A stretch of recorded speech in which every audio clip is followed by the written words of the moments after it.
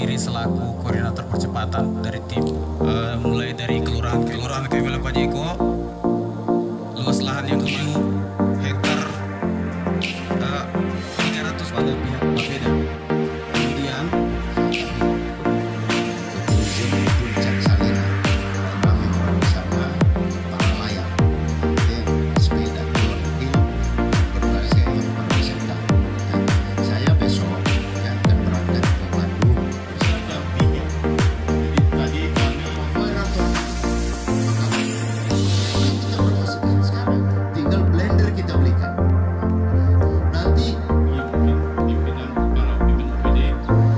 Bapak Ibu hadirin yang saya hormati memang eh, konsep pengembangan ekonomi kita tidak ada jalan lain, tidak ada upaya lain saya kira ya bagaimana Palu ini menjadi kota tujuan ya kota destinasi. Kenapa demikian? Karena dari semua sektor-sektor pembangunan ekonomi kita ini ya, yang paling tepat untuk kota Palu adalah bagaimana jasa pengembangan jasa sehingga Palu ini kita bahagi dua kawasan.